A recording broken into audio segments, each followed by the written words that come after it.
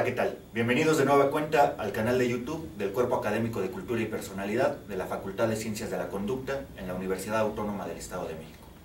El día de hoy es un honor para nosotros tener al doctor Alberto Álvarez Vallejo.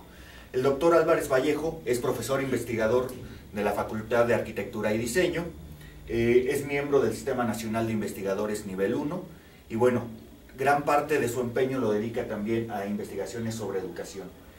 Doctor, ¿cómo le va? Bienvenido, buenas tardes. Gracias por la invitación. Un gusto que haya aceptado esta pequeña entrevista para todos nuestros escuchas del canal de YouTube.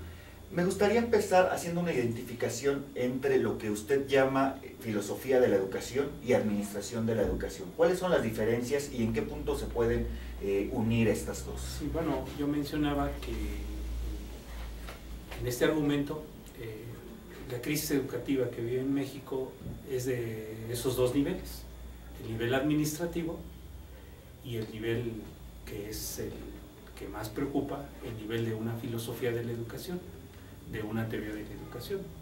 Y esto es eh, fundamental porque de alguna manera eh, toda sociedad se plantea un para qué de la educación, o sea, cuál es el ciudadano que tiende a formar para que integre una sociedad eh, digamos en los términos que hoy se utiliza, una sociedad resiliente y que tanto necesitamos en México, dada esta situación de violencia, dada esta situación de eh, una economía destrozada. Entonces es importante entender que se necesita un planteamiento filosófico para darle el rumbo a la educación en el siglo XXI para la sociedad mexicana. Y por otro lado, el asunto de lo administrativo tiene que ver con la repartición de dineros. O sea, quién administra los recursos, cómo es que se van distribuyendo a los diferentes niveles de la educación en México. Y claro, hay trabajo muy interesante o muy importante de CONACYT, por ejemplo, hay importante trabajo de PRODEP, hay importante trabajo de la Secretaría de Educación Pública en términos generales. Sin embargo, pues nosotros sabemos que el poder es una lucha ideológica.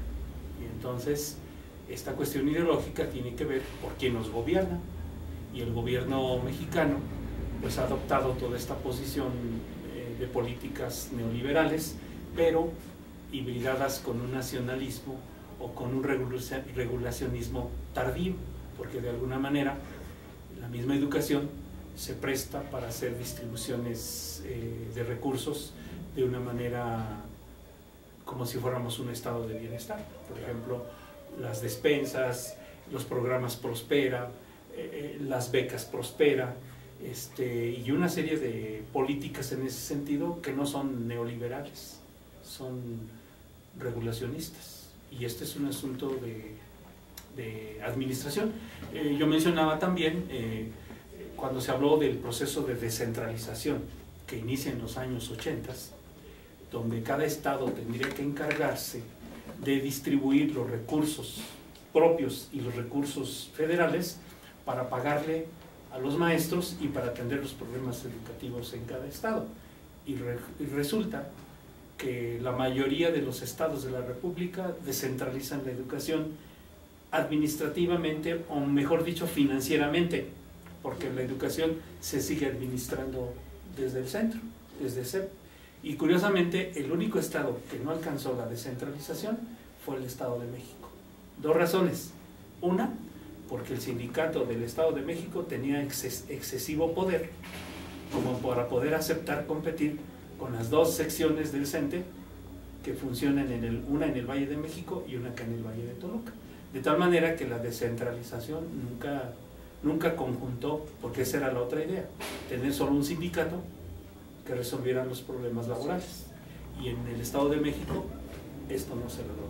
Entonces tenemos principalmente la crisis de una filosofía de la educación y una teoría de la educación, que es la más fuerte.